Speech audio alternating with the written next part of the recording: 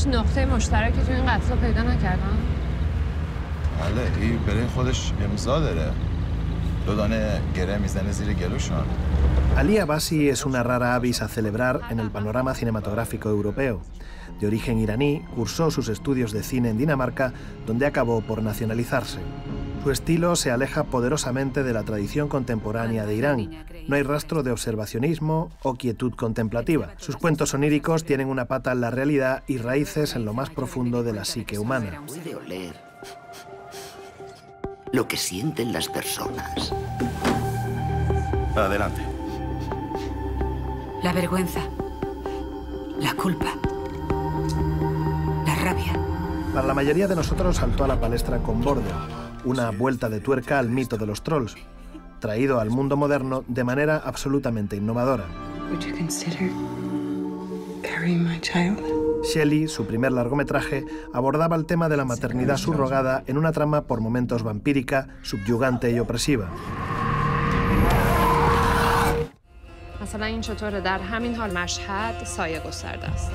Y ahora en Holy Spider, la araña sagrada, vuelve la mirada por primera vez a Irán y lo hace con idéntica habilidad para el cine negro. En esta ocasión se basa en un hecho real que fue muy sonado en su adolescencia el caso de un asesino de prostitutas que llegó a matar a 16 en la ciudad santa de Mashhad.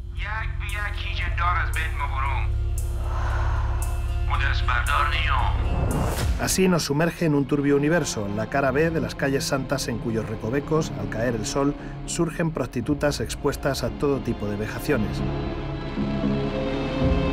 Como todo buen cine negro, la película se sustenta en esta trama de escabrosos mimbres para ofrecernos un retrato del país en el que sucede.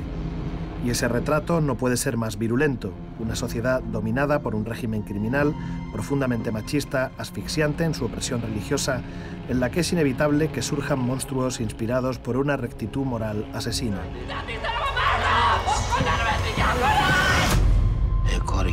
راه رضای خدا بوده بابا جان. مطمئن باشین کار ما هنوز تموم نشده. Sí, esta película es sobre una sociedad psicopática más que sobre un asesino en serie. El personaje ha crecido en una familia muy religiosa. Fue a la guerra de la que volvió traumatizado y vive en un constante bombardeo propagandístico. Hay un sector minoritario pero muy prevalente en Irán que enjuicia lo que para ti es un estricto país teocrático, como si fuera la viva imagen del vicio, como Las Vegas. Y esa gente apoyaban públicamente a este asesino. Pensaban que por fin había alguien haciendo lo correcto, sacrificándose a sí mismo por un bien mayor. Y esa gente sigue ahí. آخه الان شهر دو دسته شده یه عده میگن اینا قتله یه عده هم میگن یه چیز دیگه است اگر قتل نیست پس چیه یعنی میگن این در واقع این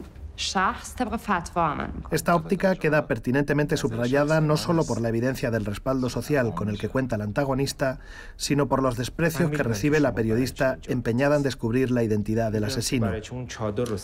Es decir, Abasi, de nuevo, parece alejarse adrede de todo el cine iraní que le precedió, y siendo ya ciudadano danés, puede no andarse con rodeos en su denuncia.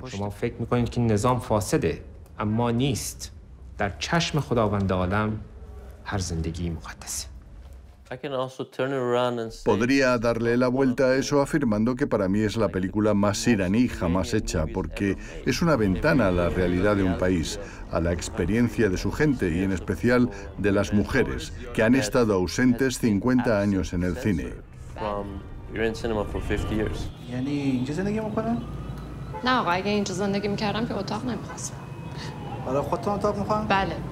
برای خودتون اتاق میخوان؟ بله برای خودتون تنها؟ بله آقا برای خودم تنها یه لحظه صبر کن Creo que soy muy impaciente como para ser políticamente correcto y metafórico. Mi trabajo no consiste en ofrecer sabor a rosas al espectador, sino más bien una bofetada en la cara. El cine iraní ha abusado de este tipo de lenguaje esquivo que para denunciar algo utiliza un lenguaje metafórico. Para mí eso realmente es legitimar la censura. No importa cómo la uses ni qué metáforas se te ocurran para saltártela. Para mí solo hay un mensaje posible. La censura es incorrecta y no quiero participar de ella.